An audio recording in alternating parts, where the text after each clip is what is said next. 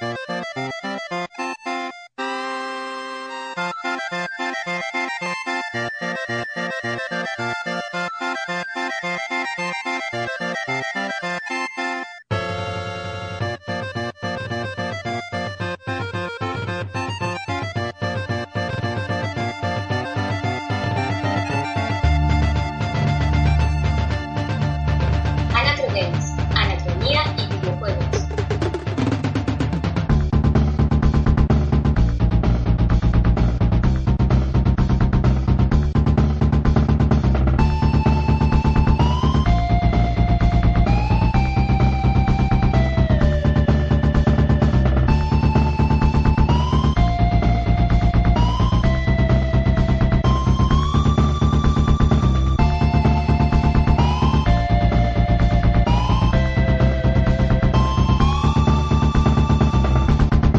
Bienvenidos a un nuevo podcast de Anacro Games. Este es el tape número 6. Hoy es un programa bastante amplio, grande, eh, porque bueno, hay mucho para contar y somos muchos hoy.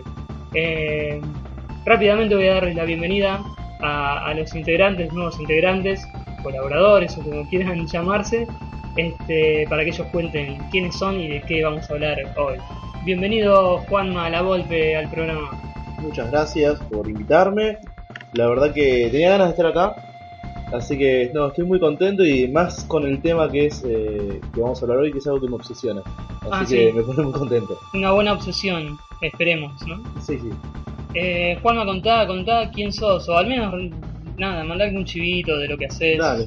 Bueno, sí, soy un nerd que hace mil cosas, entre ellas está en un programa de radio, se llama FAM, que pueden escuchar en Radio LK .com.ar los domingos de 17 a 20, donde hablamos de cómics, de videojuegos, de música, de cine y demás.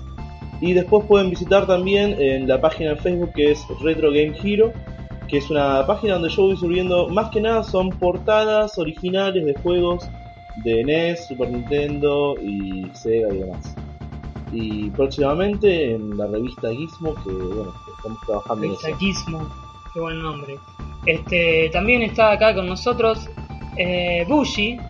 ¿Cómo es tu nombre, Bushi? No, te pregunté. Bienvenido, aparte. Eh, Bushi Pop.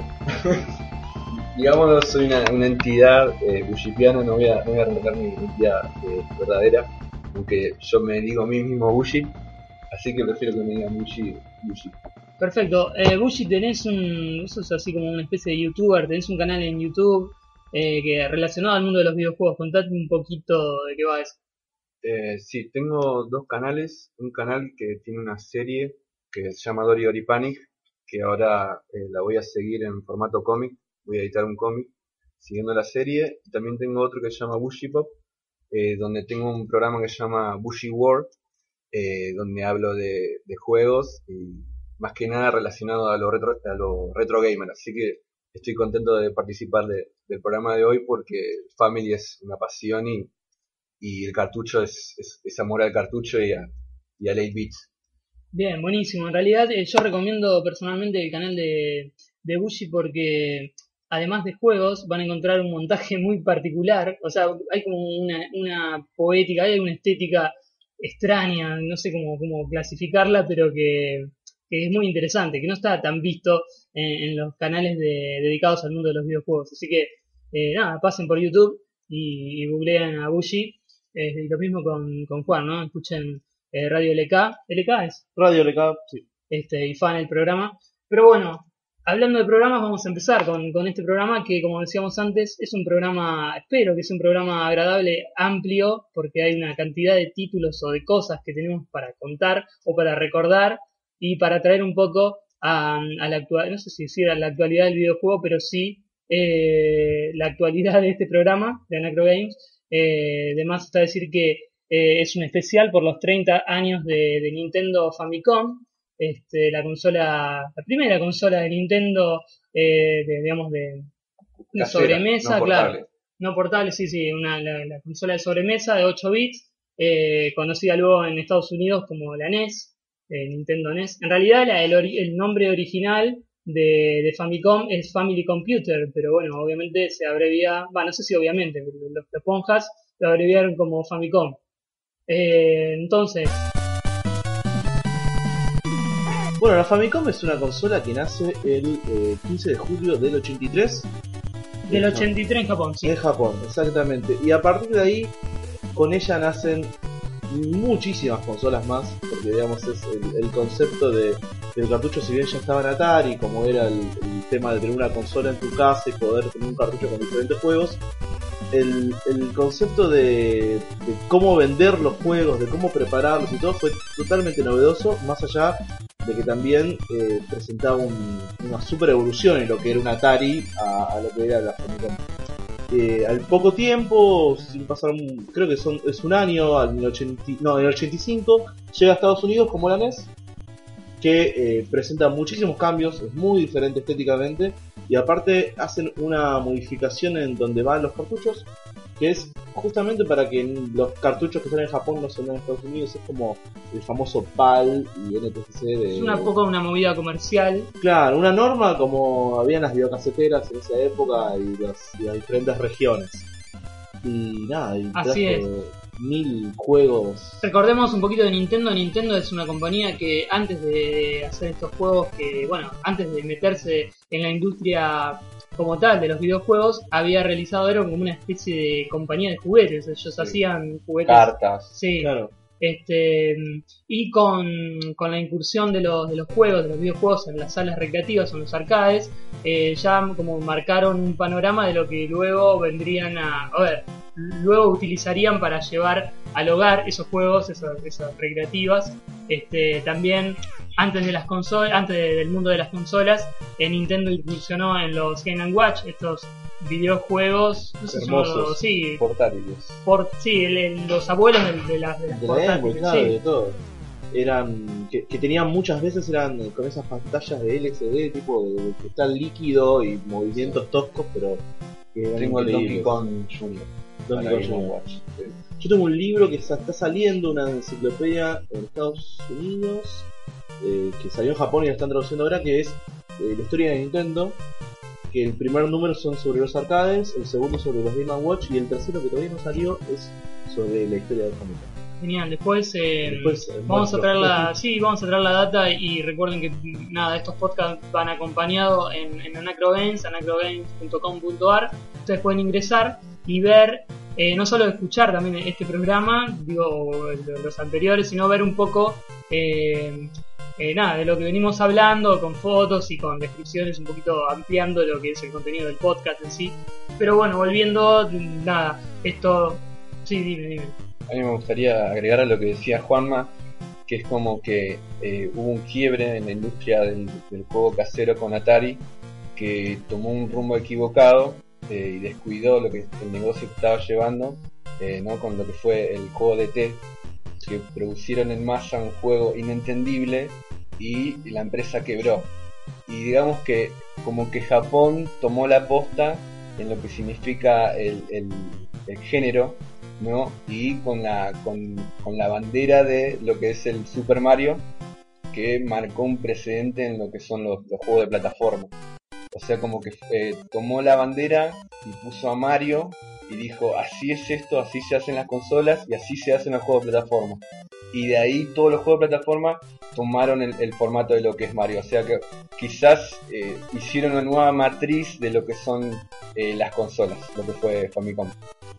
Totalmente. Eh, hay que pensar que, bueno, hace poco, hace un par de semanas, no sé, quizás un mes, hubo toda una movida con, con esto que ahora nombraste T, porque parece, no sé si escucharon la noticia, eh, los cartuchos de, de T habían sido enterrados en una base la aérea. Leyenda, sí, la, leyenda. leyenda eh, de esas anécdotas, que hay, hay varias, pero esta es una de las más conocidas. Los cartuchos habían sido, digamos, fue un fracaso el juego en sí, entonces los habían enterrado en algún lugar y parece que, no sé, bueno, pasaron X cantidad de años, no, las, no sé, ahora debe ser Por lo menos 30, claro, más, o menos, un poco más. Más o menos 30. Este, y decidieron buscarlos, es decir, tipo, hacer excavaciones para encontrar esos cartuchos. Y, bueno, la, la sorpresa fue que no los pueden encontrar. Entonces, un poco que se cae la leyenda o pasó algo raro, extraño, que no, saben bien la ubicación, pero... Del juego de T hay algunos dando vuelta que se pueden comprar acá en Argentina y después está la película del Angry Video Game Nerd que va a salir dentro de poco, que es justamente sobre la búsqueda de estos cartuchos. Eso va a ser la, trama.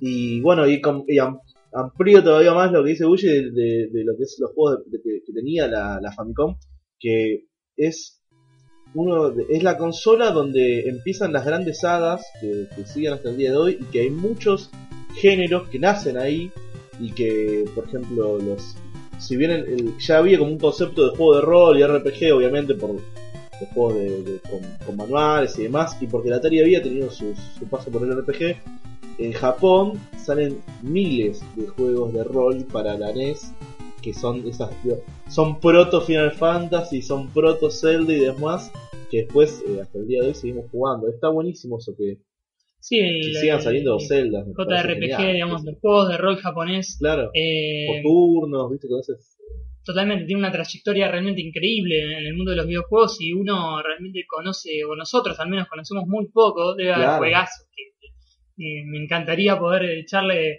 unas partidillas a alguno de esos juegos, pero sí. Eh, sí, sí, es una, una, gran, o sea, es grande la, la cantidad de juegos que, que desconocemos, títulos que nunca van a, vamos, a, poder jugar ni ver ni conocer acaso. Este, pero bueno, hay, también hay que decir porque la historia es muy grande, no sé, en un rato va, a estar también con nosotros eh, Pushi, que tenemos a Pushi, tenemos a Pushi que es Emilio de, de la masa videojuegos, él eh, también es un poco como un historiador, este, así que seguramente va a ampliar esto, pero hay que decir que hubo un par de nombres importantes eh, en lo que fue el desarrollo de la consola, en la concepción de, digamos, esto de, del juego hogareño. Uno de esos nombres es Masayu Uemura, que era como el, el primer responsable que apareció, después estuvo Yokoi, que es otro, digamos, este, Uemura con un equipo que se llamó el Nintendo RD, que era como el primer equipo de desarrollo de, de Nintendo. Este, con lo cual este equipo, digamos, fue como el primer... A ver, eh, llevémoslo al plano videojueguil. Sería como el Sonic Team, eh, luego, ¿no? Posterior, pero esto mucho antes, obviamente. Eh, en donde había personajes muy importantes en el desarrollo de los juegos, personajes que estaban también incursionando, que estaban aprendiendo y que pudieron juntos sacar cantidad de títulos conocidos eh, que podemos nombrar, sí, Gucci, eh, podría decir de este grupo fue como que marcó una diferencia en lo que es la, saga de Nintendo, que digamos es infantil, con Mario, eh, haciendo el Metroid, que fue como llevar el plano de ciencia ficción a la plataforma de Family. O sea, es como que este grupo tenía su propia visión de lo que eran los juegos, no con la saga épica que lo que, lo que es Metroid, una visión más oscura que era raro ver eso en, Nintendo en esa época, que, tenía esa línea ¿no? de infantil que todavía sigue, pero fue como marcar la ciencia ficción en, en el 8-bit. Sí, sí, y, digamos, eh, incursionar en esto, ¿no? En, otros tipos de género, otro tipo de sagas o de juegos eh, que a lo mejor no tenían tanto que ver con el concepto infantil, que sí tenía eh, los, otros juegos. Este, el responsable mayor de esto era Yokoi, creo, un Pei Yokoi, que fue el que dirigía digamos, el director era eh, Uematsu, no, me acuerdo los nombres en japonés, pero Uemura. Masayuki Uemura era el director del equipo, pero este, Yokoi era como el encargado de los juegos, el encargado del desarrollo. Y él fue la persona que durante muchos años eh, dio el pie inicial a títulos como, bueno, esto que hablábamos, ¿no? Metroid, y además eh, grandes sagas como, no sé, acá tenemos una lista eh, de títulos, estamos hablando de Donkey Kong desde las recreativas, o sea, claro, eh, Donkey Kong había salido también para, para otras consolas, y, pero después en, Famicom salen cualquier cantidad de títulos. Eh, Popeye es otro que creo que es uno que habríamos jugado todo el mundo porque teníamos en esas versiones de 10.000 juegos en un cartucho. Juego que claro, venía Popeye. Totalmente. Eh, digamos, a mí me encanta nombrar nombres así de consolas que ya han desaparecido, pero porque están acá, las tenemos y, y, está bueno nombrarlas. Donkey Kong, por ejemplo, apareció Acá, según lo dice el amigo Wikipedia, en arcade, arcade 2600, 7800, ColecoVision, Intellivision, Atari, los 8 bits. Claro. Eh, Dragon 3264, ojo con eso. Este, dos, o 200, 8 bits, habría que ver qué es eso. Apple II, Commodore VIC, que es la, la consolita blanca, Sí. eh, la, la C64, bueno, un montón, la, la Spectrum, la Spectrum, ZX Spectrum, hermosa. la, bueno, empecé de OS MSX, por ejemplo, por MSX. supuesto, ya en la versión norteamericana de Nintendo, o sea, la NES, como, como la- más la conocemos, Claro. la Famicom.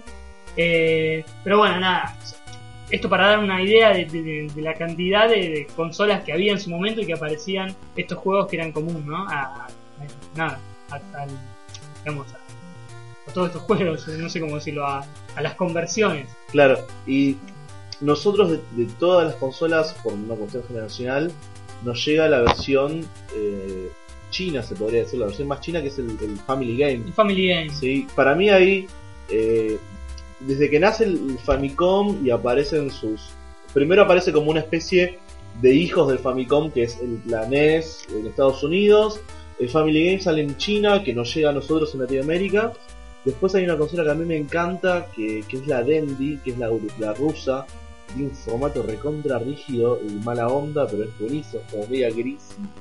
Es una que tiene, como que fue llamada en su momento la, la consola para, para chicas, por el- porque el diseño era, no era la gris con, con rosa, con botones rosa. Claro, sí, sí, pero era como, es rara, ¿viste? Es una consola extraña. Y bueno, a, a través de la, de la arquitectura que tuvo este primer Famicom, fue saliendo diferentes. Y a nosotros nos llega la versión china, que una vez que pisa eh, suelo, por lo menos latinoamericano o argentino, aparecen después a lo largo del tiempo un montón de clones, que es otra de, de mis obsesiones, que son los clones de Famicom. Me encanta investigar, acá en Argentina está desde las Edu, pasando por las... eh, Perdón, la Edu que, que en realidad EduSoft, eh, que era la compañía, o bueno, no sé si estamos hablando de lo Sí, mismo, sí. sí. Eh, tuvo a su vez antes clones de, por ejemplo, de, lo que fue Atari, que era la, la- yo recuerdo la, la, Edu, la Edu Juegos, que era la consola que te- era un Atari Yo tengo una, una Edu juegos de, en madera, venía, muy buena, muy muy, linda, sí, sí, sí. Bueno, sí, no, sí, te, te y, interrumpí. y- ese, ese tipo de clones que se siguen haciendo al día de hoy, estábamos hablando ante- antes del podcast, que, que sigue habiendo un mercado en Argentina de juegos de 8 y 16 bits eh, a través de la mano de Alien, que es Alienware, que es una empresa que debe ser china, no sé de dónde será, pero siguen apareciendo que son estas especies de Play 1, Play 2 o Xbox. Ahora vi eh, algunas que tienen como una forma de Xbox que, que usan cartuchos y juegos de, de, de Family y siguen y se siguen haciendo cartuchos acá nacionales. Yo Es un tema increíble, esto da para, para pod- realmente estoy pensando en, un- en otro podcast. investigar sobre Sí, investigar y hacer un podcast de nada, de esto, del mundo pirata o el- del mundo de los clones. Bueno, ¿no? De- sabes que a mí me gusta mucho comprar, eh, cuando salgo a comprar eh, juegos, yo colecciono NES y Super NES, eh, tengo cosas de Family, Famicom, pero más que nada me, me estoy orientando en eso. Eh, voy mucho a 11 y en 11 hay un par de locales que tienen cosas muy viejas y yo siempre voy a romper las bolas y a hablar con la gente y ya me conozco a todos y así conseguí, no sé, desde Game Sharks hasta Game Genie, cosas que Sí. quedaron de los 80 ahí, en los depósitos. Y nadie me quiere decir quién hace los putos cartuchos acá. Porque en contacto de yo no necesito qué. saber quién hace los cartuchos Es para, mafia, para hacer mafia, mis propios cartuchos. la o mafia sea. del vicio, la Sí, mafia del vicio totalmente. que está en, en los, todos lados. los cartuchos son un toquecito más chiquitos del plástico. La plaqueta ya es microscópica, porque es como anecdótica, que tengo una, una plaqueta ya, pero... Pero esta y- cosa, perdón, estás hablando de los nuevos De los cartuchos, nuevos cartuchos de- de de clones, digamos, o sea, del, Claro. del nuevo clon de lo que Y- fue Famicom. Y lo que tiene de los cartuchos nuevos es que hay muy pocos juegos de un juego, casi todos son de 4 en 1, 76 en 1, eh, yo tengo uno de 9 millones en 1, que son todos el mismo juego, Sí. Eh, pero, pero es una, una cuestión que está buenísimo para, para poder seguir metiéndose a investigar de dónde hacen los cartuchos en Argentina. Hay una- un lugar, un, seguramente conoces, un local que tiene mucho, pero tiene mucho de Super Nintendo también. Eh, yo soy muy fan de la Super Nintendo, que queda ahí en, en Santa Fe y, y Purredón, en la galería. Sí. No sé si lo viste por ahí. Eh, bueno, es alguien que tiene cantidad, pero es esta, este comerciante que hoy hablábamos fuera de micro, mala onda, en donde vos vas a comprar o vas a investigar, vas a ver qué tiene y no quieres sacar nada. Y No, molestás, Y no es por, yo creo que no es por amor, no es por amor al vicio, a ver, no es que no te quiere mostrar el cartucho porque no, no quiere que se raye o que se ensucie porque no, no, Claro. o que se lo quiere jugar él, no, no, es un, es, es el, no sé, el chabón forro que no quiere entregártelo, no tiene ganas de vender, yo no entiendo cómo, yo, digamos, me encantaría tener ese no, no quiero ir muy en lateral, pero eh, es un tema tratar con el público. Yo tengo mucho trabajo ahora. He dejado las oficinas para pasar al público y a veces quiero matarlos a todos. Pero bueno, volvamos a. Volvamos, sí, sí. Encaminemos, no, en realidad vamos a hacer como una pequeña. Esto fue una especie de introducción. Sí. Vamos a tirar un temita. Eh, porque, bueno, como decíamos antes, eh, el podcast, este programa va a ser un gran programa con mucha info, data y también ah, tenemos hambre, así que vamos a pedir una pizza. Bueno, si les parece, mientras vamos a un tema.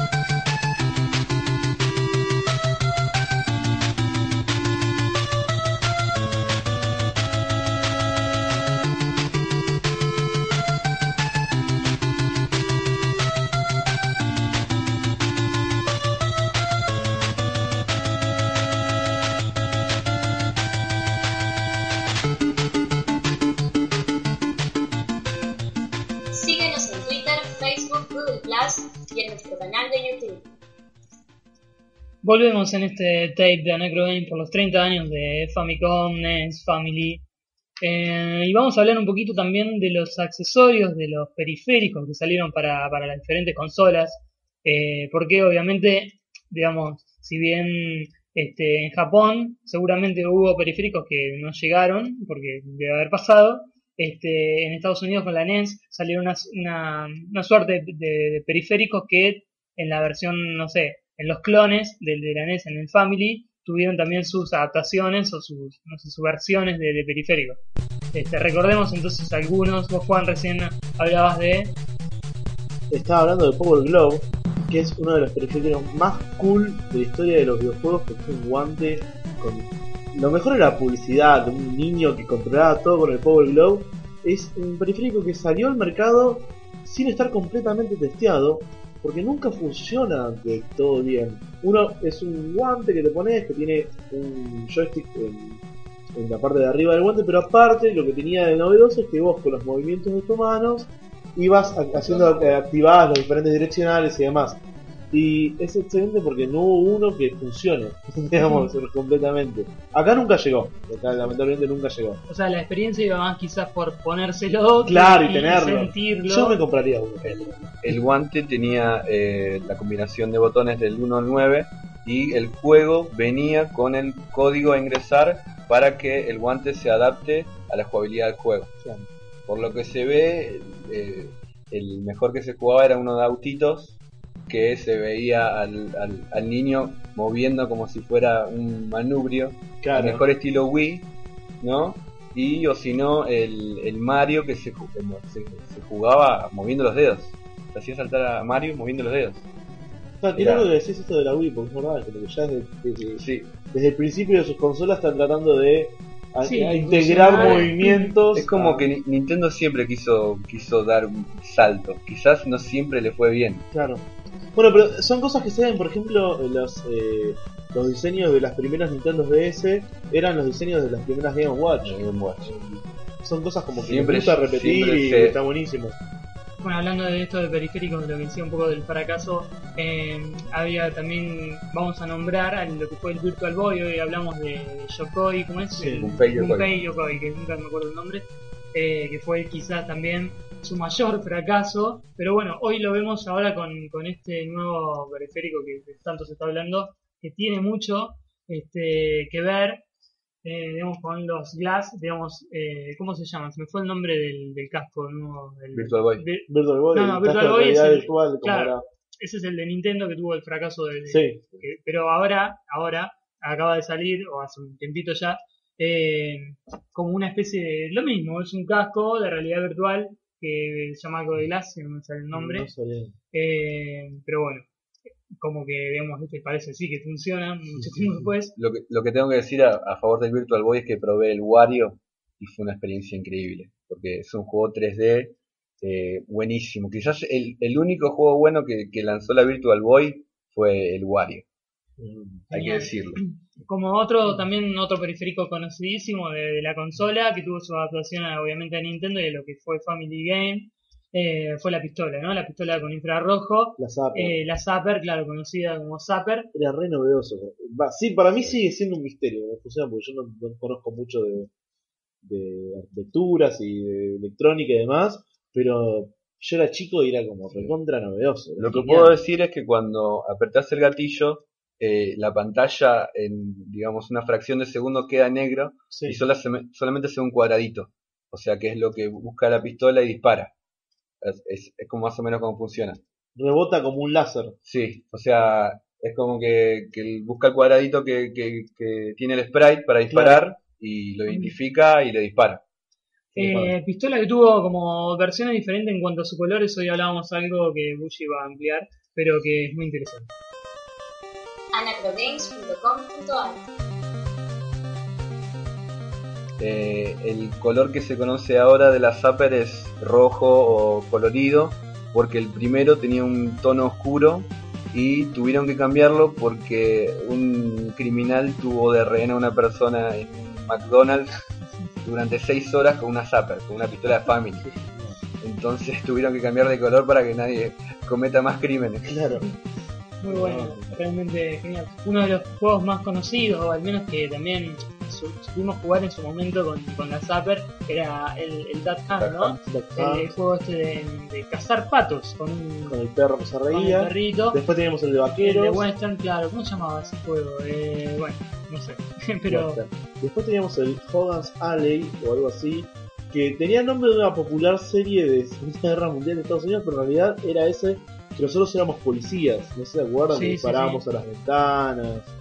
Totalmente. Eh, básicamente la, dinámica de estos juegos eran muy similares. Eh, usábamos las pistolas para, para, disparar a los sprites que, venían, que aparecían en pantalla. Eh, pero bueno, eso es un poco el concepto del shooter. O sea, ya desde, desde el inicio de estos juegos eh, estamos en como una especie de primera persona. Nosotros somos como jugador esa, esa digamos, primera persona que está ausente en pantalla, pero que sí ya tenemos que estar atentos a lo que va a venir para dispararle, que es básicamente el concepto de un shooter. Claro, nosotros en, el Family Game teníamos esos tres juegos. Yo después, eh, comprando juegos de NES, eh, conseguí uno llamado Chudier, que es de ciencia ficción, es una nave y nosotros vamos disparando con el, con el zapper a otras naves y a asteroides. Y ese nunca llegó en versión Family. Esos son todos periféricos igual que salieron en las versiones de la versión norteamericana, en la NES. Claro. Eh, después está el Rob, que es un robot horrible, hermoso, como quieran llamarlo, que apila trompos para ayudarte a jugar. Es una cosa muy bizarra, muy extraña.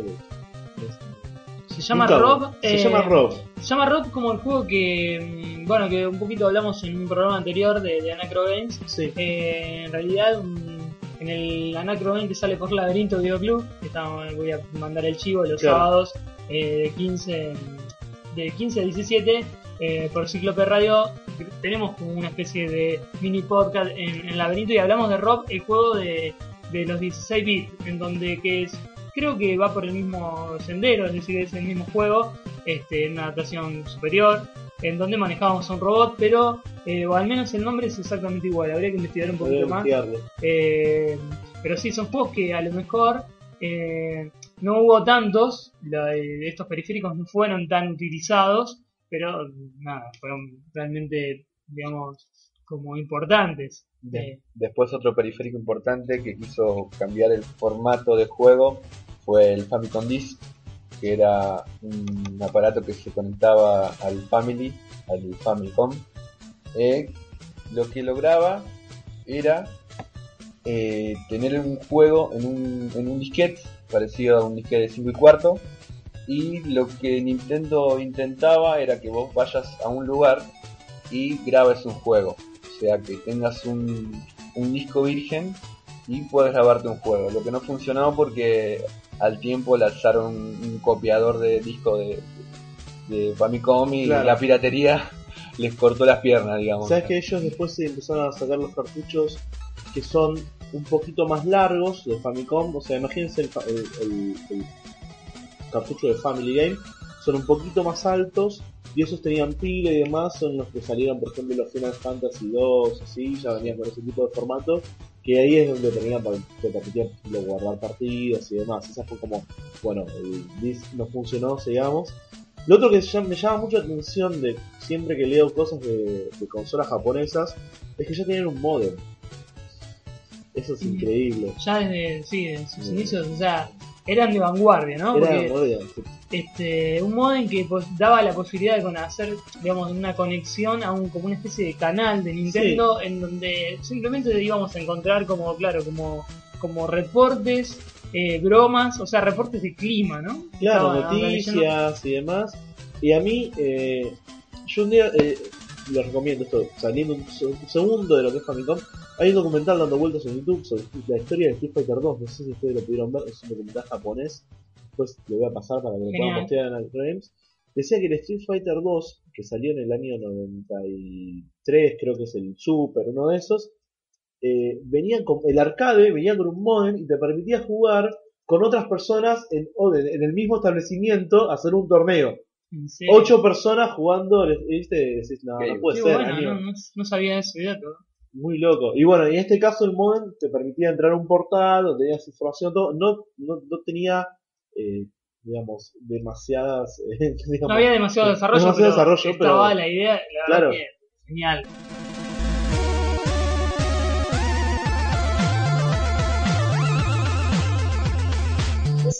Podcasts de Anacro Games desde nuestros canales de Evox, Spreaker y iTunes.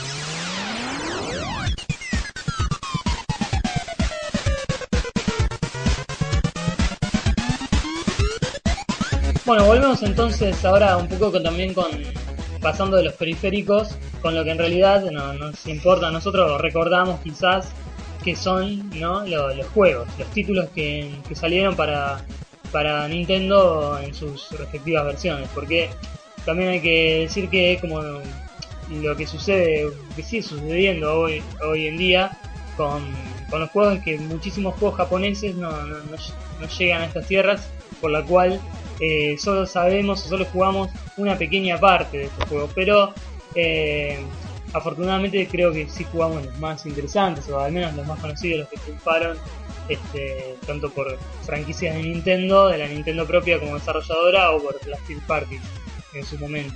Así que entonces vamos a empezar a tirar, si quieren, si, les parece, a ustedes, eh, no sé, títulos que hayamos jugado, por qué, qué nos causó, qué, recuerdos tienen. Lo obvio es mencionar Super Mario. Claro. Que es la insignia de Nintendo, sea la plataforma que sea.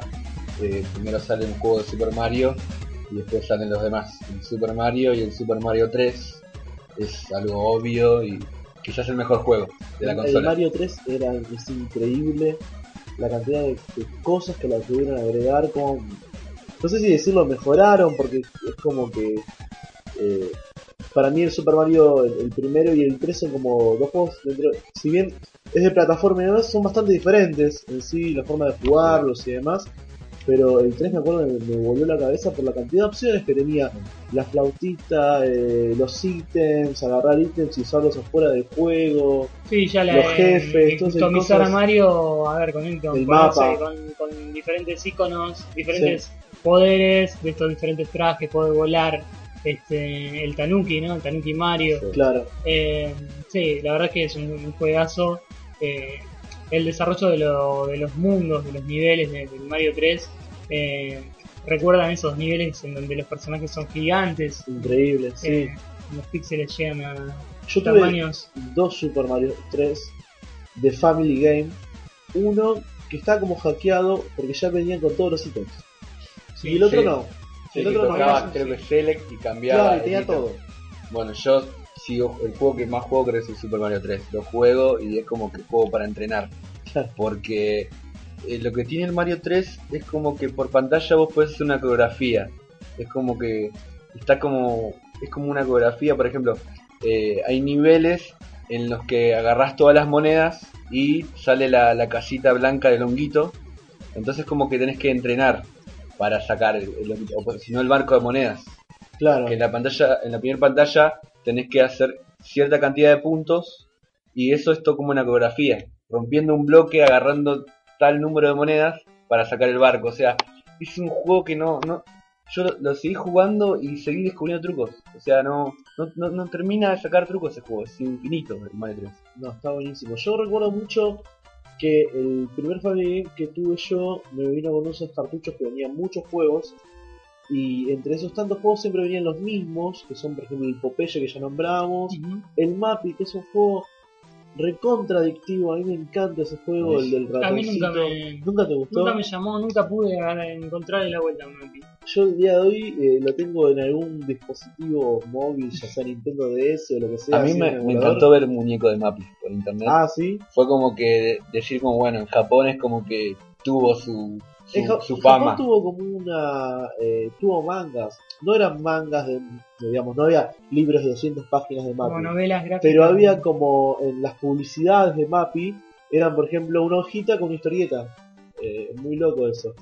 Eh, dentro de esos cartuchos se podían encontrar juegos como el Contra, que es un señor mm. juego. Es un señor, señor juego. Sí, hay que hablar de, también de como de, a ver, juegos que de alguna forma son empiezan a aparecer sagas, ¿no? Claro. personajes y juegos títulos que generacionales. Sí, que vamos a volver a revisitar cada tanto este y que fueron creciendo, no sé, pensemos en Metroid, eh, pensemos en, en, Capcom con Mega Man, pensemos, digamos, eh, en el mismo eh, Konami con Castlevania, como que son sagas de juegos que hasta el día de hoy eh, perduran, personajes que realmente, bueno, Mario es el, caso más gigante, ¿no? Nintendo sigue alimentando. Hoy pensaba eso que, que, a diferencia de Atari, que eran como juegos abstractos, ¿no?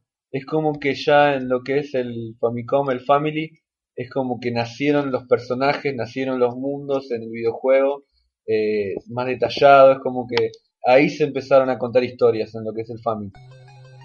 Otro juego que, que yo recuerdo de juego de chico y me rompió la cabeza y lo volví a ver de grande y me pareció muy genial es el de la serie de anime Gato Samurai, no sé si se acuerdan, los Gatos Samurai, Samurai Pizza Cats.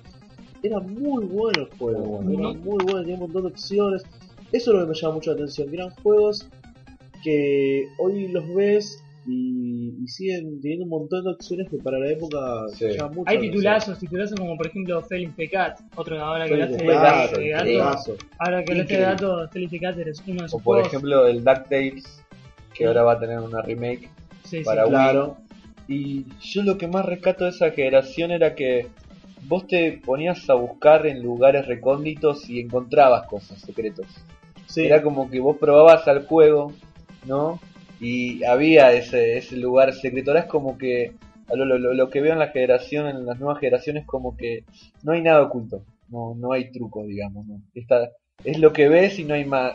Y lo que tiene el Family era eso, los buenos juegos era que buscabas y encontrabas cosas ocultas. Hace poquito Shigeru Miyamoto, creo que esta semana o la semana pasada, este dio, salió en los medios que Shigeru Miyamoto hablaba de la dificultad de los juegos. A ver, habían hecho pruebas con jugadores japoneses este, y que para muchos jugadores, aunque esto va a parecer raro, era como difícil, no, no, podían jugar a, a, los juegos. Es tipo, eh, les resultaba muy difícil, lo, probaban con Mario, ¿no? Con Super Mario. Este, no, no, no terminaban, la mayoría de los jugadores no terminaban el nivel primero de Super Mario. Es decir, que esto hicieron un análisis y es como que, bueno, ellos obviamente necesitan vender y la verdad es que la, la jugabilidad en los juegos actuales es cierto, es bastante más fácil o más simple. Además de eso, como siempre. que los videojuegos están adoptando cada vez más el formato de película. Claro, es como que en la generación clásica de juegos un juego era un juego. O sea, quizás empezaba una breve intro de la historia y después vos te ponías a jugar y tenías el completo control del personaje durante todo el tiempo. Ahora creo que en los juegos de ahora hay mucho tiempo muerto en, los juegos. Hay mucha parte donde vos no controlás al personaje, donde ves cinemáticas y creo que creo que se está perdiendo lo que es verdaderamente un juego. A mí lo que me gustaba mucho de, los juegos de esa época era, más allá de su dificultad, era esa onda de empezabas el juego y nada, tenías que arreglar de no había un tutorial.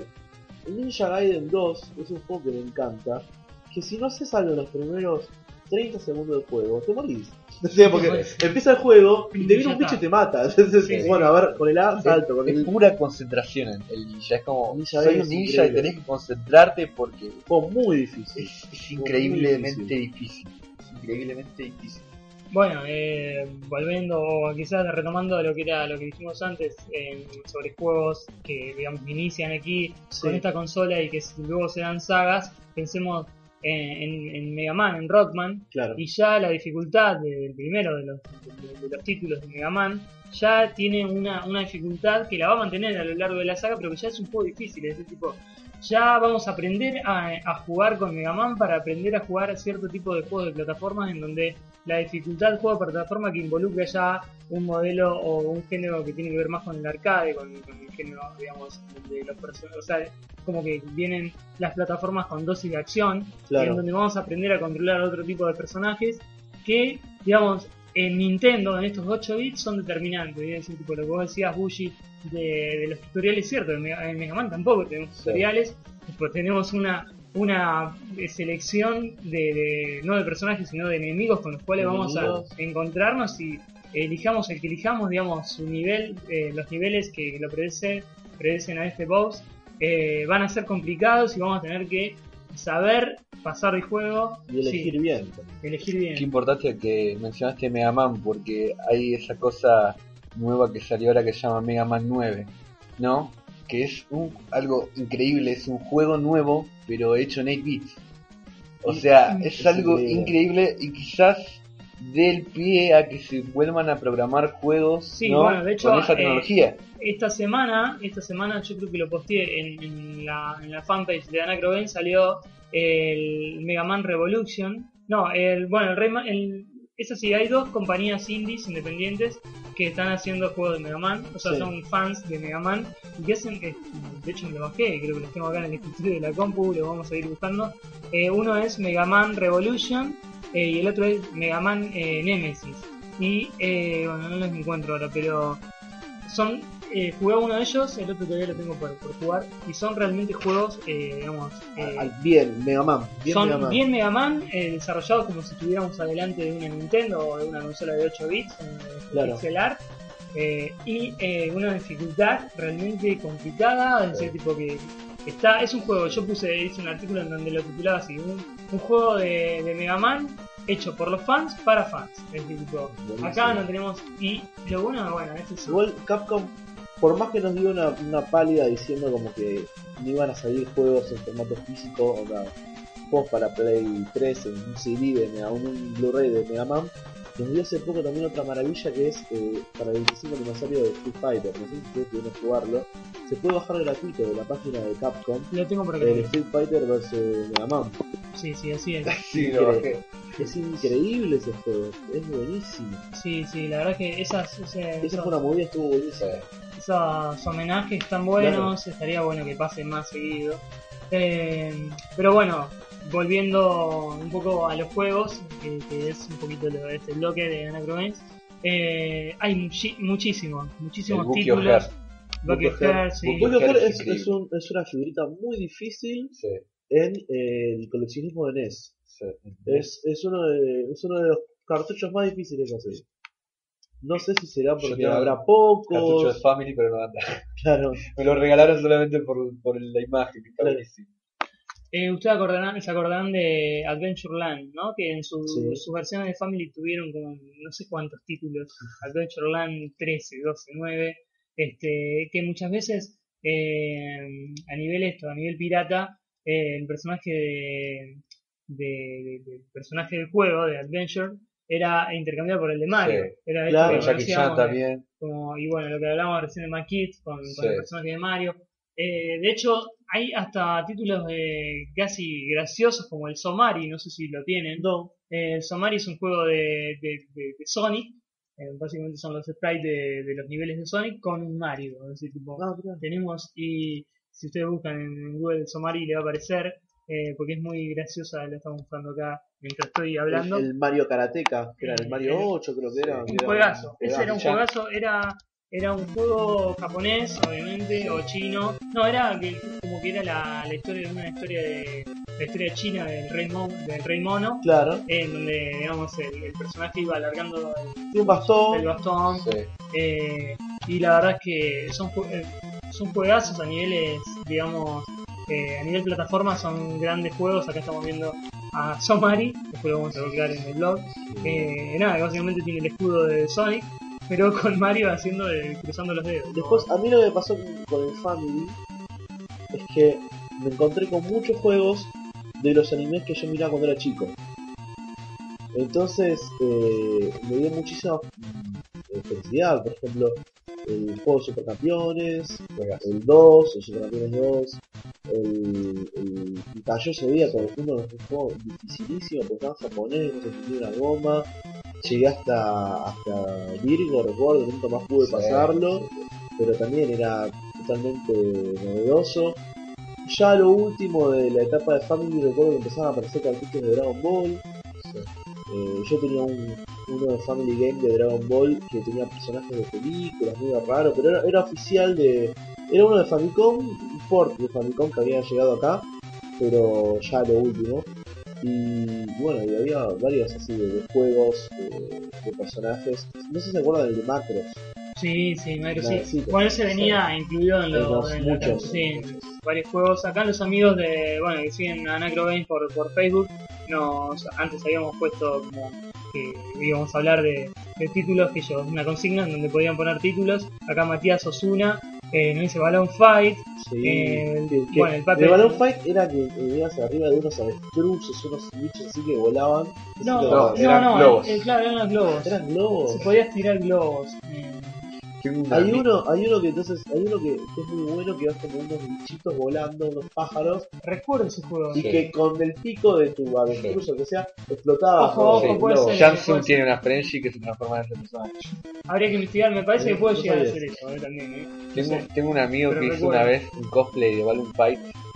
Se puso unos globos y un casquito y hizo cosplay igual un fight, la rompió.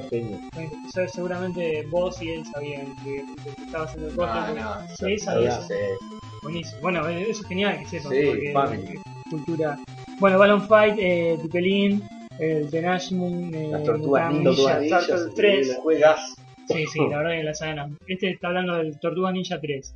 El Islander 2, el de Adventure Islands. Sí. El Kung Fu Master, otro juegazo juego, juego de arcade, ¿no? En su, en port para Nintendo, el Mappy, que recién habíamos hablado, y bueno, dice, cualquiera de esos merece ser nombrado con todos los honores, sacaron, lo estamos nombrando. Este, por otro lado, también tenemos a, a Caneda, Zack, para el amigo Caneda, que dice, uh, eh, Ice Climber, bueno, hermoso juego, un juegazo eh, también de las recreativas que tuvo su, sí, sí, sí. su, versión. Eh, a Boy and His Blog, ese título me suena a Wii. Mira, no, no, eh... estaba para. Yo lo jugué, es un juego que nunca lo entendí mucho. Porque ese es, un, es eso. No lo recuerdo. Con... con... su burbuja. Claro. Eh, sí. Bueno, el Baki O'Hara. El Adam Family. otro título increíble. North Out South, no lo ubico, no sé cuál es. El Battle Battle Battle Dog. Battle versus, Trip, eh, versus. Hace falta un buen no, eh, Double Dragon. Versus Double Dragon, que es increíble. Sí, sí, la verdad que sí. El Tiny Toons genial. Bueno, los, Double Dragon que él acaba de nombrar eran buenísimos. Re difíciles, sí, eh. Sí, El Darwin Duck, otro juegazo. Juegazo. no tan conocido de, digamos, de Pato Lucas. Eh, no, el, sí, el Pato Darwin. Se llamaba el Pato Darwin. Sí. Este, el Goal 3, con los Ketsu Soccer League. Era hermoso, no sé si ustedes sabían. Los Goals eran dos geniales. Yo creo que el personaje. El Gol, eh, lo que pasa es que el Gol 1 y 2 no tienen nada que ver con el 3, porque el 3 era otro juego. Sí. que es este el Negetsu Soccer Sí, Blitz, sí. que Es eh, una saga, es una realidad. saga hermosa, saga, que tiene uno de Todo los tipo de juegos diferentes. Y Sí. tiene ese personaje tan genial que es Kunio Kun. eh. Kunio Kun. Kunio Kun. Kunio Kun, que le das, eh, bueno, en Scott Pilgrim les hace eh, homenaje en los nombres de, las, de algunas bandas. Ah. Eh, el- hay una No banda que se llama Cra- eh, Crash and the Boys, Sí. que es la traducción de un Kunio Kun en Estados Unidos. Bueno. Eh, y lo que tiene buenísimo de Kunio Kun, en los dos juegos que más me gustan, es uno de pelea. Sí. No sé si lo ¿Beat ubican. em up o pelea? De pelea. Pelea. Hay un beat'em up. Hay un beat'em up, ese es el River, tiene un nombre como, bueno, ese es de Hooligans, como de Yakuza, Sí. Muy una bueno. cosa muy copada. Eh, te secuestraban a la mina y pegaba pegabas podías pegar cabezazos y vos ibas con un amigo. Sí. Estaba lleno de objetos la calle para agarrar, increíble ese cadena, juego. palos, piedras. Y, 8 y- bits. y después 8 había bits. otro que era de pelea de todos contra todos, pero se jugaba a 4. O sea, vos Sí. usabas a un personaje y la máquina usaba 3. Muy bueno. Te lo customizabas, le ponías la ropita tipo de karateca, lo que seas, y le ibas subiendo puntos de, de habilidad. Muy bueno, Era muy loco para Hay uno de. Japón. Sí, De de vóley, vóley, sí, sí. de tenis también creo que Sí, hay. es increíble. Hay, eh, bueno, hablando de los beat'em up, recuerdo la, una, un super deforme de, Sí. de Cody Guy, Fight. de Final título. Increíble. Y dejaban Sí, ahí con Era juegazo, como una un juegazo. versión adaptada a familia, la capacidad. Y de de hecho familia. también hubo, no sé si una especie de Street Fighter, o ya estoy diciendo, no, hubo un super deforme de Street Fighter, pero no, no era para el Nintendo, No para era para los 8 bits. Era un juegazo también, pero... De no. arcade. Sí, sí, de arcade, que yo lo jugué en Play 1. Sí. sí, sí. Pero no, bueno, esto nos contaba, mm, terminaban Caneda diciendo también Exit Bike, que, bueno, o el Sí. juego de las motos es genial. Eh, y lo- los picapiedras de Picapiedras. Flintstone, otro juego también, Sí. eh, uno de esos juegos que podías alquilar. Recuerden que eh, los juegos antes se podían alquilar. Sí. Usted- Uno iba al, al local de video, al videoclub amigo, y podía llevarse. los- Justo ayer recordaba que una vez para un cumpleaños me dieron 20 pesos y me, y me dijeron a comprar un cartucho de Family. Fui al videoclub y el vendedor me vio tan niño y me quiso vender el tenis. Y yo con mi, con mi instinto gamer dije, no, quiero los picapiedras. Claro. Y me No. lo llevé y es algo increíble, un juegazo. Yo tuve una gran etapa en mi vida que fue que mi viejo laburó durante poco tiempo en un videoclub. Y, Qué bueno. y yo tenía 8 años. Era como, fue como la- la- el, el cielo. Igual no fue mucho, pero pude aprovechar de jugar todo lo que, que se podía jugar. Eh, ahí. sí, sí, en realidad me acuerdo mucho de haber jugado juegos de. de a- haber agarrado la primera etapa de Sega, pero bueno, eso es otra cosa.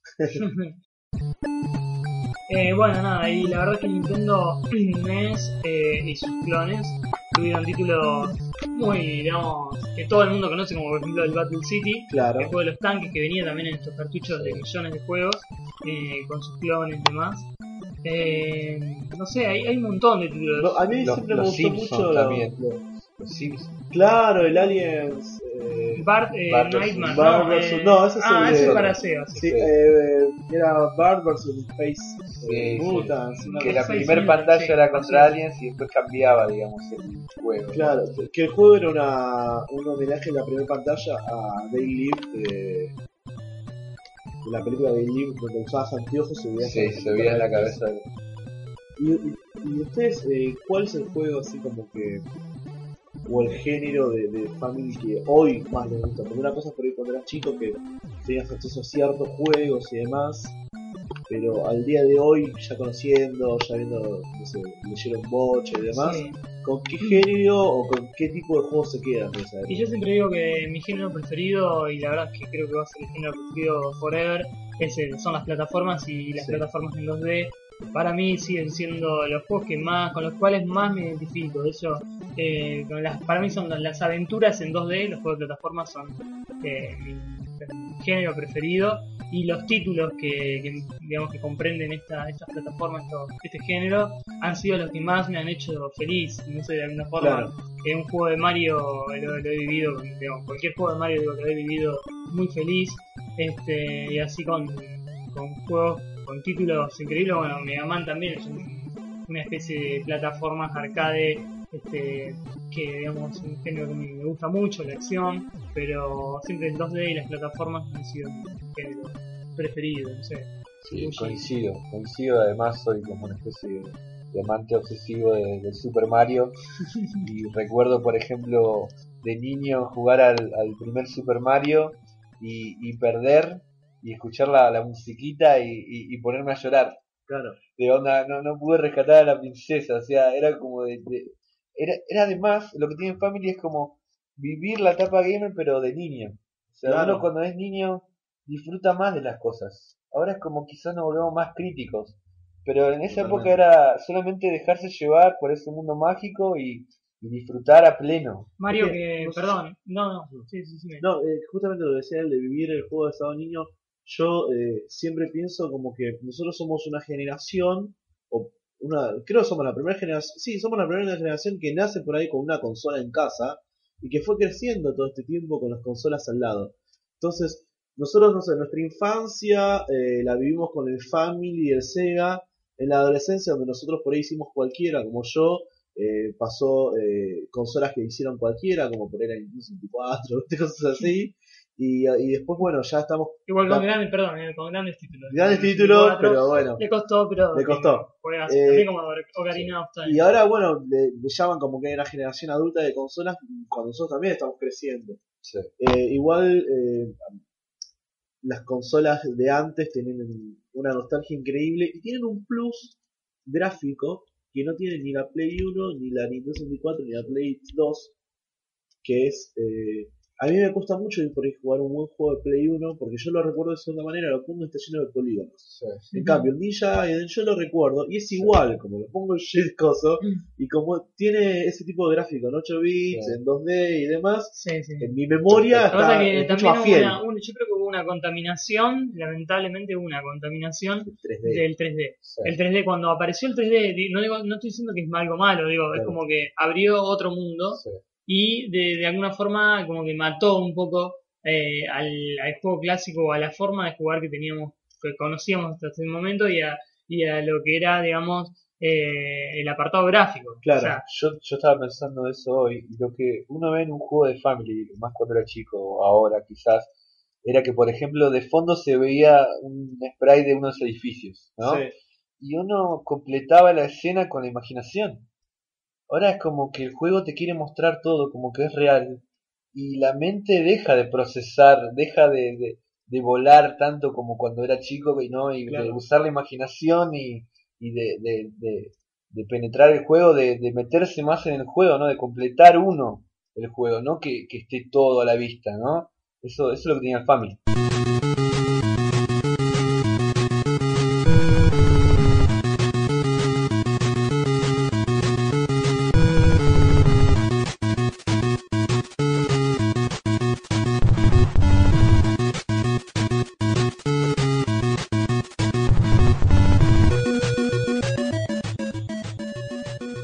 Igual con, con cosas gráficas del Family.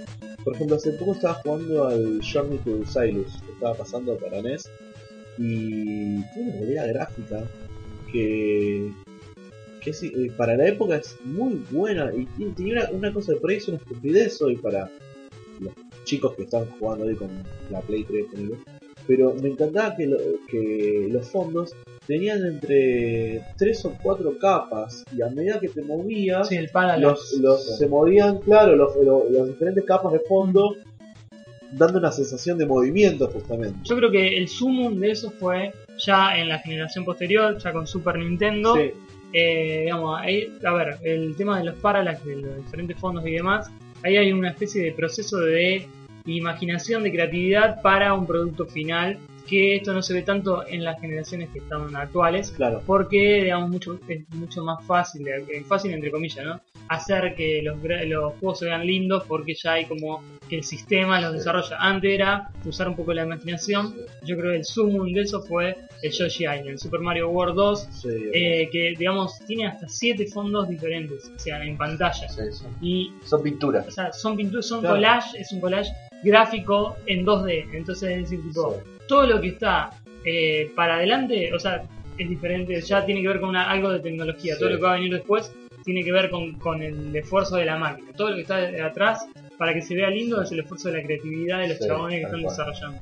Con lo que tienen. Y hablando de otro aspecto eh, artístico de los juegos, ustedes ya hablaron de lo que son eh, bandas sonoras, pero creo que lo que es Family NES Famicom tiene una gran, gran cantidad de bandas sonoras.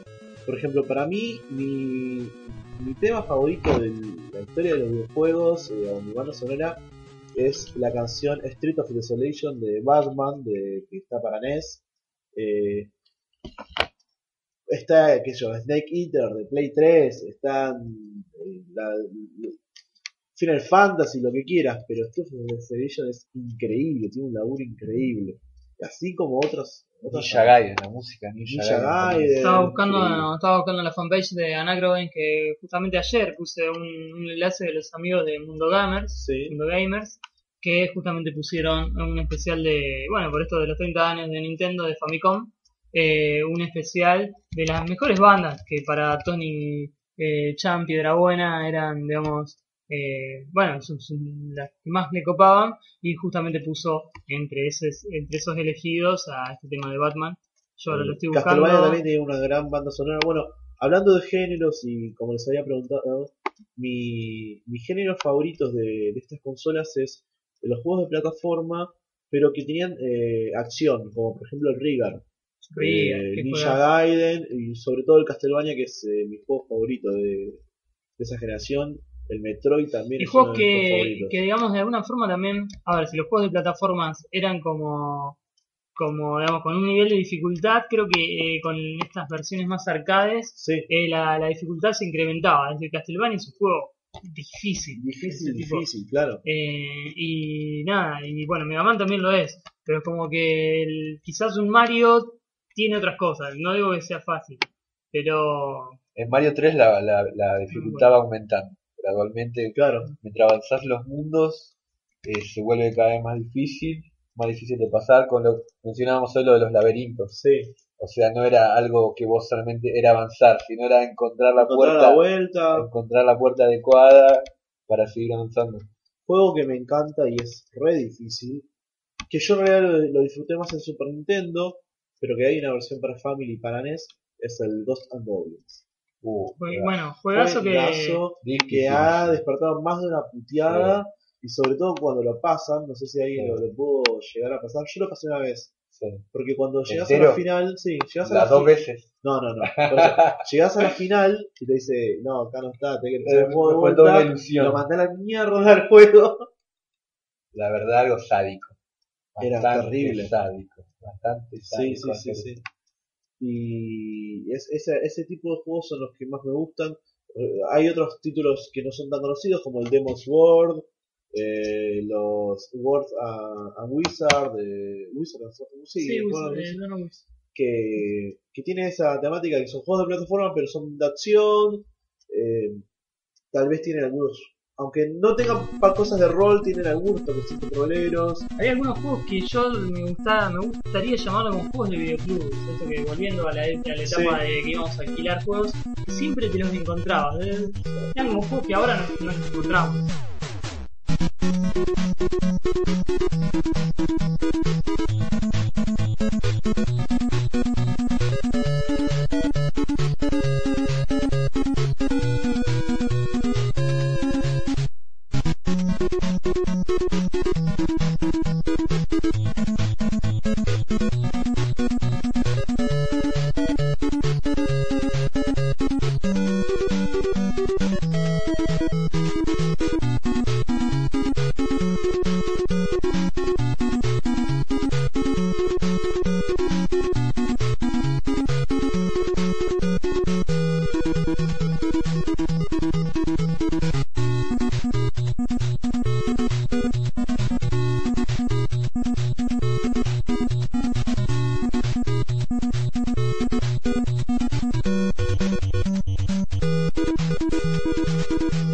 La bienvenida a Napushi, a Emilio, esta vez Emilio y a Nadir de la masa videojuegos que acaban de llegar, son las la una de la mañana, eh, se ve que se nos fue un poco de mambo este programa, pero bueno, son los 30 años de Nintendo, de Famicom, por lo cual era inevitable y la verdad es que no, va a faltar muchísimo tiempo para hablar de todo lo que lo que significa, ¿no? Los 30 años, pero nada, le damos la bienvenida, bienvenido, gracias por estar, Nadir y Emilio, Este, y les cuento un poquito lo que estuvimos hablando hasta ahora fue básicamente de los inicios de, Nintendo con, la salida de la consola de 8 bits, tanto en Japón como, como en, América y en, los demás lugares, con sus versiones, eh, digamos, bueno, el Famicom en Japón, Nintendo, la NES en Estados Unidos, y, y, también hablamos un poco de lo que fueron los clones, el Family Game, este, y con también hablamos un poco de títulos, de accesorios, eh, periféricos, no hablamos Pushy,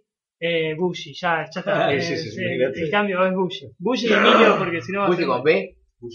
Bushi con B larga y Emilio, porque si no va a ser imposible. Ah, bien. Este, Bushi, no hablamos de lo que vos haces, que en realidad es intervenciones, ya o consolas, o consolas caseras, que eso da hasta para hacer un podcast dedicado a los periféricos y.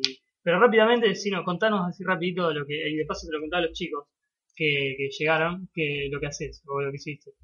Bueno, la idea fue tomar eh, los componentes de Family Pirata, lo que sería la Play 1, ¿no? que, es uno de los más populares, los clones más populares de, de Family que hay, que tiene los componentes más reducidos posibles de lo que puede llegar un Family. Y entonces lo puedes meter en, en cualquier formato, lo puedes transformar y hacer un Family. Y la idea, bueno, es hacer una marca y venderlo como una línea de consola, que sería un sueño, ¿no? Tener una, una línea de consolas propia.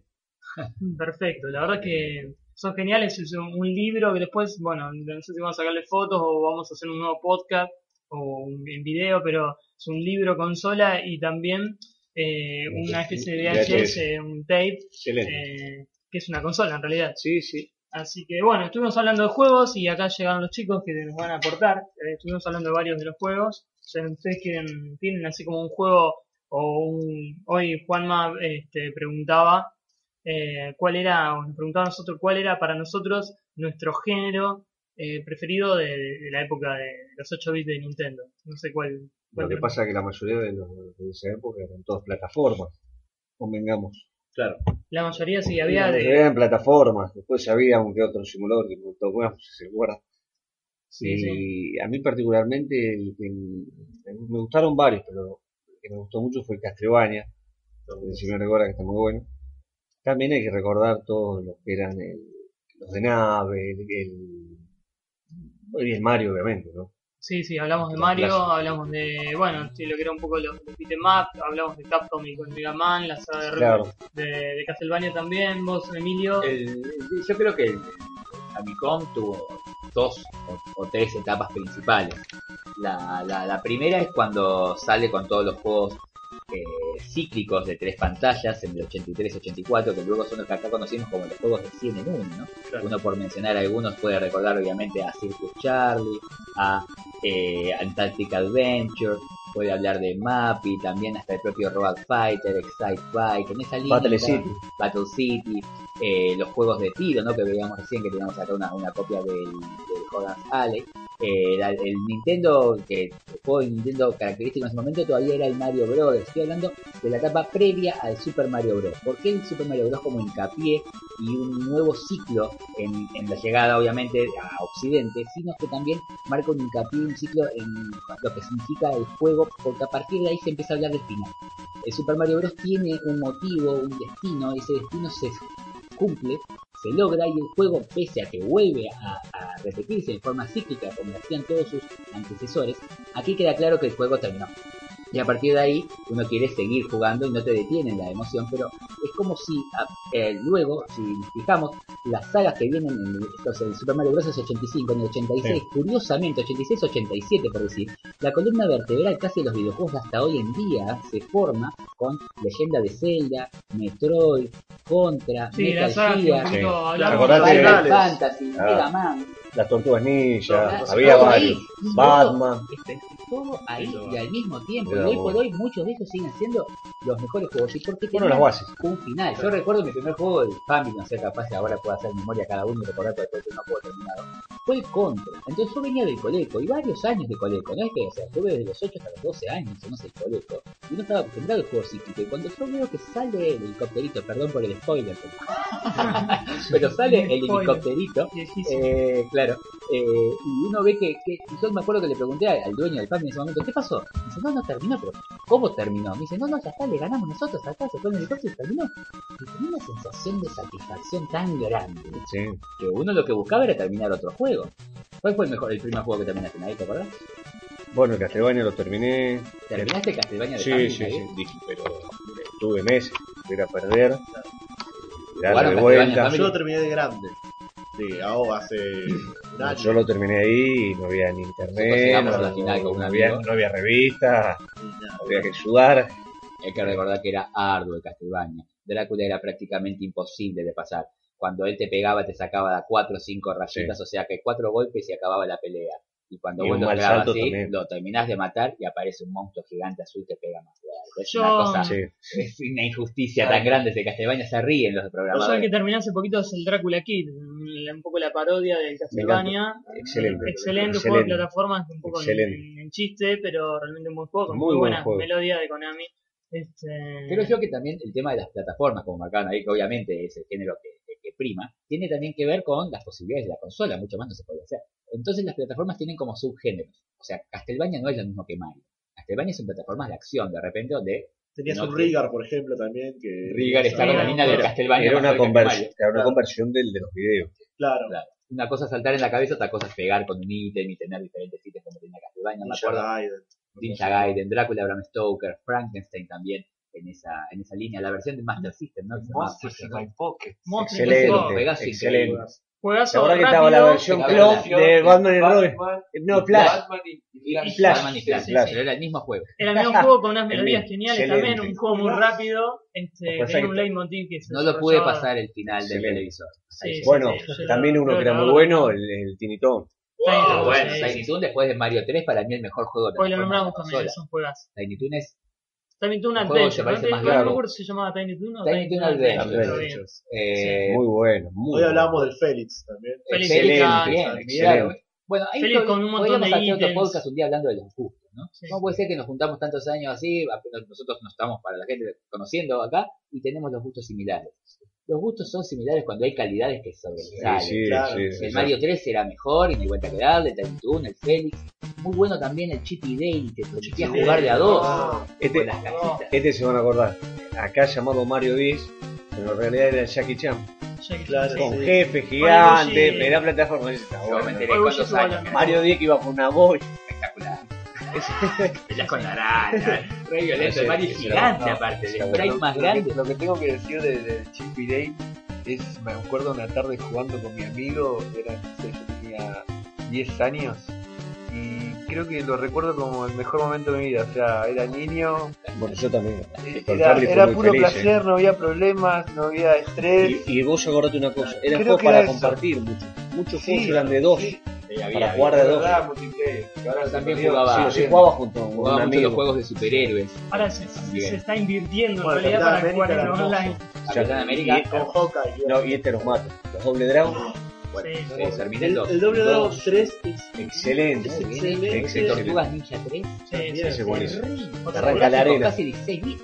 Estábamos hablando. Está Los juegos de cómics ahí hablabas de, de, de Capitán América, lo quiero rescatar también porque se suele hablar en los foros, así como a veces una crítica, de la empresa LJN, ¿sí? Sí, es que verdad. dicen como una mala empresa. Yo tengo que rescatar dos juegos de superhéroes de la época que para mí inclusive están al nivel, eh, o por qué no superiores a lo que proponía Capitán América, aunque el Capitán América terminaría de formar el podio. No pensemos hoy con el dominio que tiene Batman. En aquel momento Batman no le ganaba ni al Capitán América, ni al Spider-Man del LJN, ni al Wolverine del LJN. Para mí eran grandísimos juegos en esa época que uno tenía mucha más paciencia también a la hora de jugar porque era jugar con Wolverine sí o sí. Claro, un juego era- que cada si te tocaba algo Sí. te bajaba la energía automáticamente y te bajaba la energía y uno no lo resistía porque era la primera vez en tu vida que estabas jugando con Wolverine. Además era conseguir un cartucho y era lo único que teníamos para jugar y era jugarlo y jugarlo y No, morir, y jugarlo, jugar morir, y bueno. jugar y Alquilar jugar. eran 48 horas, Alquilar. eran 48 horas. ¿Quién jugó con Marte? Sword Master. El Sword Master. Sword Master, sí, sí, sí. Muy bueno. Jodido, Tipo jodido. Astianax también, ¿no? Astianax era de tu estilo, del guerrero de la espada también. Había Sí. como una, una serie, pero esto ya se conseguía más en, en NES que de Family Game, que eran los Swan Wizard. Que había, había varios de. ¿Son RPG? Son, no, eran de una mezcla de RPG y plataforma. Ah, O sea, vos tenías un. Era, se veía en plataforma y vos encontrabas una espadita y le tenías. Paxanadu, había otro Paxanadu. Paxanadu. Lo que hay- a lo que vamos a estar de acuerdo, ¿no? lo que vamos a estar de acuerdo en algo es que a medida que iban pasando los años, la, los juegos de Family iban evolucionando. Claro. Lo pasa Sí, sí, sí. Sí, sí. siempre. Entonces cada vez fueron Entre. Mario Bros 1 y Tiny Toon hay una diferencia clara. Y lo hay también en, eh, bueno, Mario 3. Pero esa evolución no solo se da gráficamente, sonoramente, sino también a nivel historia, a nivel incorporación. A ver, ya había finales más elaborados. Jugabilidad. Eh, Yo me Más acuerdo, jefes. el Drácula de Bram Stoker, uno de los últimos juegos del NES, allá por 1993, uno de los últimos capítulos ya estaban, se estaba hablando de que iba a salir el Que, PlayStation. perdón, que era, que era la, la, la adaptación de la película. De la adaptación de la película de Francis claro. Ford Coppola de la misma época, el juego tenía opciones. O sea, uno decía Stargame Options. ¡Wow! Sí, Bueno, que otro, que, Opa, ganete. otro que te nombro es el Toki. El toque. Bueno, Pero, el mono no, pero en Family vos sabés que le habían incorporado más cositas. ¿Cómo es? ¿El Family es Tokio o es Juju? El Juju, no, no, no, Toki, Toki, Toki. conocía por Mono Juju. Yo- Mono Sí. Mono Juju, pero acordate que en los videos se decía Toki.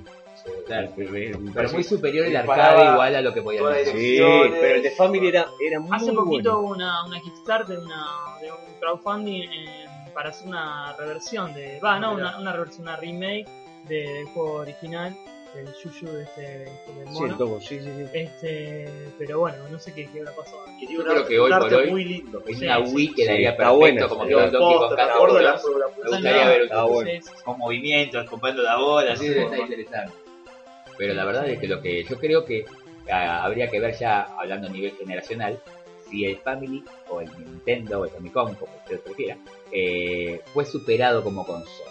O sea, el récord de nueve años sacando ininterrumpidamente, más allá de algunas cosas que ha pasado por la Atari 2600, me refiero a estar en el mercado, ¿sí? desde el año 85 al 94 en Occidente, y se le pueden sumar dos por Oriente, o sea, serían 11 años en realidad, ha sido superado por el PlayStation 2. En cantidad de De tiempo. cantidad Sí, de cantidad tiempo, de que no es tiempo. calidad. Lo que significa el Family como reinvención del videojuego a nivel mundial. Recordemos que la no. generación previa había muerto. No, El ya. Sí, videojuego en sí y a- había muerto Claro. a raíz de que la juegos eran Y aparte, Obvio. convengamos una cosa, perdón, que acá la gente que estaba entraba al coleco y la Atari, que eran máquinas caras, Claro. no era tan masivo.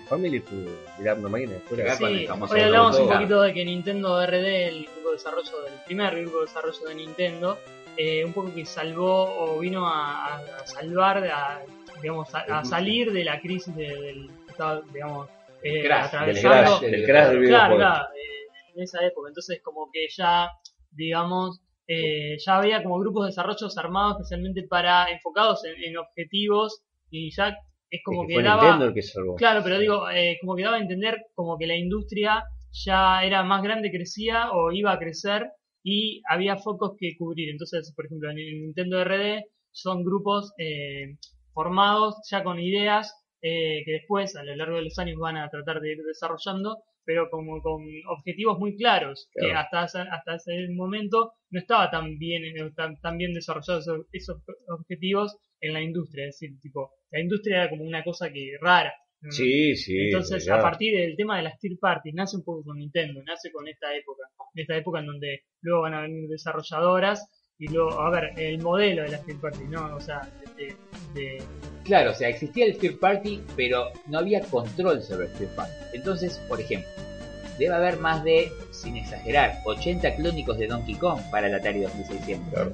O sea, desde Burger Time, ¿sí? O, eh, o, Sí, o el sí. Porpe Popeye, también que estaba en una versión más Sí. más pedorra en, en- en el Atari. Eh, Galaga y todo el resto. Sí, pero digo, por ejemplo, por Sí, tomar un, sí, un sí, ejemplo, sí. había tres, cuatro géneros, ¿no? Bueno, lo que está pasando hoy en día, lamentablemente, por eso estamos cerca de otro crash. Pero bueno, la cuestión es que había tres, cuatro géneros. Lo de naves, los tipos Donkey Kong que eran de pantalla estática, Sí. ¿sí? Y por las, las plataformas que recién iniciaba con lo que daba Pitfall, pero eran- Claro. eran de mayor complejidad en el diseño, ese tipo de juegos. Entonces, ¿qué pasa? Cualquier empresa se animaba y podía programar para el Atari 2600. El Nintendo viene con el primer Seal of Quality. Tenía un, un sello, recordemos, en la caja, Sello que era, que era- Nintendo sello de calidad, como que había pasado un filtro de calidad de para poder salir no, a la venta. Eh, y el Family lo que tuvo el Nintendo eh, fue más casi monopolio, ¿no es cierto? El Master System existió. el Master System supone la primer rival, o sea, la, primer, el primer llamado de la competencia en, la historia moderna del videojuego, pero debe ser un 90% 100%. Sí, sí, sí, le damos Tiene un 10% pero, sí, sí. sí, para mí sí tenía un hardware más poderoso, pero bueno, no es el día del Master bueno, System, pero, pero, la verdad es que, pero... me refiero a, lo monopólico del Family, que la gente, mucha gente puede estar enterándose hoy. Existió una máquina que, pasa, que se llamaba Master System. Lo que pasa es que Nintendo, con, con el Family, con todo esto, empezó a explotar la cruceta, que fue tan famoso. No, eso fue. Eso fue barro, dos botones. que tiene un no se puede reemplazar la Tuvo tantas cosas, por ejemplo, desde los periféricos, los joysticks, eh, la versión japonesa que uno de los joysticks tenía un pequeño micrófono. Eh, Lo que pasa un montón de, Tiene juegos de aventura gráfica, tiene sí. juegos... Claro. Hoy hablamos Vos de... hablabas de los juegos de desarrollo, ¿no? Bueno, escúchame, los emuladores, el Top Gunner es un emulador de, de, aviones que tenías que estacionar, eh, cargar nafta en el aire. Está bien difícil, como la hostia, pero son, son ese tipo de cosas que tenía. Eh, hay que pensar que de alguna forma, irónicamente, Nintendo, si bien digamos, sabemos cómo está Nintendo hoy en día, no estoy diciendo que está mal o bien, pero digo, la filosofía de Nintendo ya la conocemos, la filosofía actual. Sin embargo, eh, ha sido una de las pocas compañías que ha sabido traer todo el tiempo, eh, digamos, eh, o ter, como mantener con vida esos juegos, ¿no? Con la consola virtual de, de, Wii. O sea, uno puede volver a jugar a un contra, un, no sé, Battletoads. Este, y que es una de las pocas compañías que tiene, digamos, esa retrocompatibilidad, si se quiere, aún este, con su Que se mantienen sus principios también. El, ejemplo más gráfico que se puede dar es que en los 90 los yankees decían vamos a jugar Nintendo. Claro. decían vamos a jugar los videojuegos, vamos a jugar Nintendo. Era, muchas películas. Era un sinónimo. Lamentablemente hoy por hoy es la, la, 360. O la 360. La, la, Play. La Play, Yo creo que la Una gente, vez la vamos a jugar a la Play. Acá sí, acá, no sabes qué Play van a jugar, pero van a jugar a la Play. Acá sí. Lamentablemente. O no, o con cualquier consola. Es la marca que define el producto. Pero entonces estamos de acuerdo. Estamos de acuerdo que Nintendo tuvo un monopolio. Y tuvo un momento sí. Tuvo terrible. Esta máquina fue la más exitosa. Yo sabes que me Ah, perdón. Bueno, somos fumadores ah, y somos claro. ¿Vos tampoco? ¿Vos Somos dos. Dos Estamos hablando del Fabio. Dos, Ner salvado. Estamos hablando del Fabio. Estamos fumando. Este, lo que pasa que sí, sí, sí. Eh, el tema, claro, eh, estuvo muy posicionada en Nintendo muchos años con el Game Boy imbatible y creo que van a estar de acuerdo conmigo que hasta el día de hoy sigue siendo. Nintendo en la portátil sí, no gana nadie, la PSP eh, se acercó pero no llegó y en, en, tema de consolas renovó, vamos, vamos en Nintendo, renovó. Es que siempre, siempre momento, apostó siempre a la consola a diferenciarse de lo que estaba en el mercado, bueno. siempre. Eh, y siempre para el hogar, ¿eh? Sí. Yo creo que es vanguardia y el mercado está una generación detrás de lo que propone Aunque no parezca por el traspié que supuso el Nintendo 64 y posteriormente el Nintendo GameCube que provoca lo que está pasando hoy, que tenemos un hardware la mitad de potente que lo que podría ser la competencia, y también reconocer que esto se transforma en una pelea económica y es como un almacén peleando contra dos supermercados. Entonces es por eso que Nintendo, pero el almacén, pero Nintendo, el almacenero corta mejor el fiambre todavía que, que, que, viene cortado por Claro, pero Nintendo siempre fue primero. El grande. Hoy hablábamos que eh, de los periféricos que se consiguen en Estados Unidos, y la NES, está Power Glove.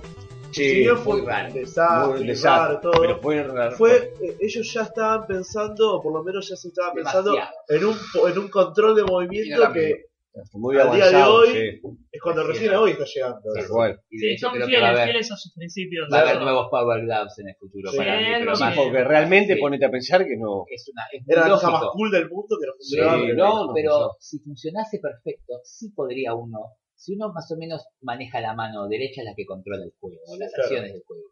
Eh, no está muy loco, siempre y cuando funcione perfecto. Y bueno, supuestamente lo que va a lograr el Kinect 2 que ahora van a va a reconocer el movimiento de dedos, movimiento de ojos, de boca. Yo le pongo un par de fichas. bueno, pero entonces convengamos que siempre se toman las ideas. Ah, tranquilo que no, no, lo que, lo que es cierto, lo que es cierto es que Nintendo revolucionó en su momento el mercado hasta hace muy poco, lo, o sea, lo fue revolucionando siempre que pudo. Eh, la, y, hasta ahí incluso la Wii U tiene algo de revolucionario. Veamos si después la saben utilizar esa revolución. entonces se quedan en eso, pero.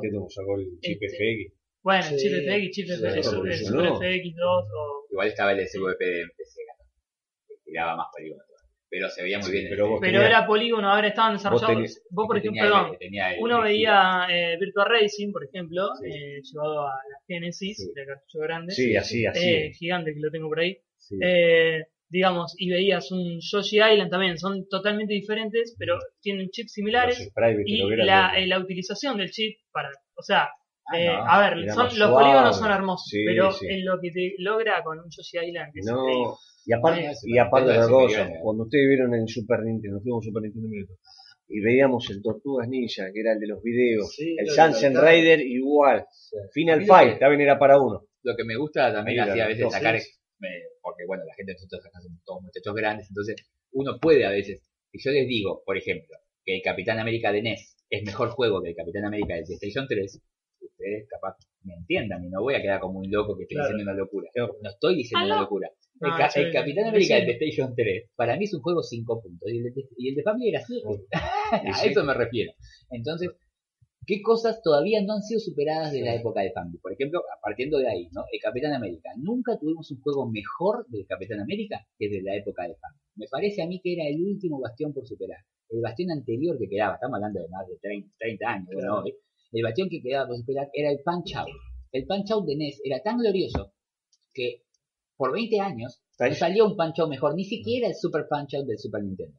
Aunque el Punch Out Wii termina de poner las cosas en su lugar hoy por hoy, no se puede discutir. No puede, si lo jugaron es Sí, sí, sí, fantástico. Pero 20 años se mantuvo. Para mí el Excite Bike de la, de la Family, en 2D, no sé si salió un juego de motos mejor todavía. Y tenía el editor. No, no no, no, no nos podemos olvidar de esto. Hay Climber. Bueno, el tema de, ¿cómo se llamaba el de los ladrillitos? Uno que iba, que tenías que ir cavando, que también podías editar tus niveles. El Lord Runner, ahí está. Ese es muy bueno. Eh, bueno, a ver, eh, juegos que, eh, digamos, tenían incorporado un, un editor, eh, perdón, un eh, editor. Sí, un editor. Sí, sí, sí, sí. Este, y como por ejemplo el Battle City. Sí, el Battle City te armas vos. Entonces, esos conceptos, sí, sí, esos conceptos son realmente innovadores en su época y se siguen utilizando ahora. Todo. Ah, bueno, sin ir más lejos, el, concepto de la pausa. Ya había sido utilizado en una máquina de Atari que no tuvo mucho éxito, pero para el mundo en la pausa. Antes de Family no había pausa. Había una, pero se te enfría la leche. No me importa, estoy saltando. la, la, Master System era la que se podía que en realidad tenías que levantarte para pausar la, la consola. Pausa, la pausa en la consola. Pobre, para hacer distinto, porque sí. licencia Levantarte y pausar. Sí, o sea, no podías levantarte para hacer la pausa. Pero bueno, eso fue increíble. Así pero, la verdad es que, que, sí. Y no se rompían, ¿eh? No se calentaba, ¿no? No, sabía, no había luces. No, no. Eran otros plásticos. Sí, sí. Otros plásticos, sí, sí. Pero bueno, la verdad que 30 años de, melancolía, de, amor al, al, juego, a los videojuegos. De pasar tarde jugando. Este, esperemos que uno siempre tiene la esperanza de, de, volver a, no sé si a jugar a esos juegos retro, pero sí a que vuelva esa un poco esa y quién no los conoce no quién no los conoce cualquiera. Eso también es tema para otro podcast. yo soy nostálgico yo también. más de 30, soy pero si me pongo a analizar en frío, con total coherencia y siendo lo más amigo de la verdad posible, para mí cada generación en definitiva termina superando a la anterior, salvo por determinadas aristas que haya que mejorar. Por ejemplo, por decir, no sé, Metal Gear Solid para mí el mejor fue en PlayStation 1 Entonces estamos esperando otro Metal Gear Solid mejor. Pero en la generalidad, la generación de PlayStation 3 para mí es más grande la generalidad con la extrema para otros podcasts. A eso me refiero también con el tema de, del NES. Fue la primera generación de verdad de la historia la primera generación grande. a partir de ahí se renovó y nunca más cambió el videojuego. Pero las generaciones posteriores parten desde ahí y tratan de, mejorando. Son muy eh, esenciales, muy primitivos también esos primeros juegos de, de, de hablamos la columna vertebral, ¿no? Los primeros Mega Man, el también que de hecho el, la Super Nintendo arranca con base de muchos juegos de NES, haciendo por ejemplo su eh, Super Metroid, Claro. Super Castlevania 4. Super Castlevania 4, que Fueron, ex- es que fueron éxitos. Los Claro. otros fueron éxitos. que son franquicias que hoy siguen estando. Final ahí. Fantasy, ahí, ahí asistimos por primera vez al primer cambio evolutivo, ¿no? A ver a Castlevania y ver a Super Castlevania. Claro. Claro. Eh, todo eso, pero parte de, una noción que, que, bueno, por suerte cumple 30 años, por más de que mucha gente hoy no la recuerde, no, no, no, no considere lo que significó para el mundo del videojuego, nosotros siempre vamos a estar con Famicom en todas partes. Y aparte era el Family, che, Family, Family. Family. Y se ve bien en un LCD por audio y video, ¿eh? Si lo Sí. ponen en LCD se ve, Se bien, ve bien. es increíble. como-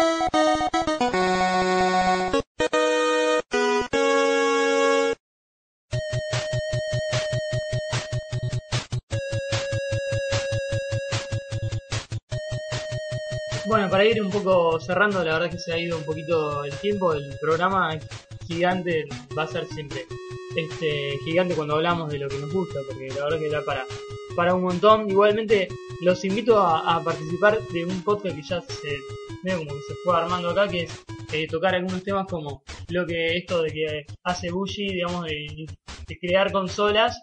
Eh, podríamos hablar de consolas, consolas raras, este, las consolas piratas o las Los consolas clónicos. los Los clónicos clónicos, claro. y los juegos que ahí eh, Emilio va seguramente a traer alguna cos- cosita rara o, o nada, algunos títulos que para vos eh, lo vamos a hablar en otro podcast, pero digamos que para vos son sí.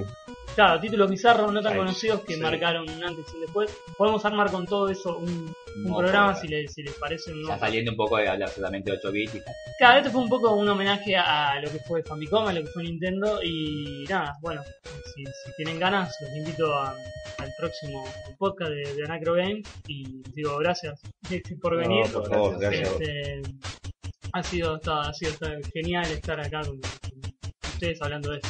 Me encantó. Así Vale. que bueno, Nos vemos la próxima. nos vemos la próxima. Gracias.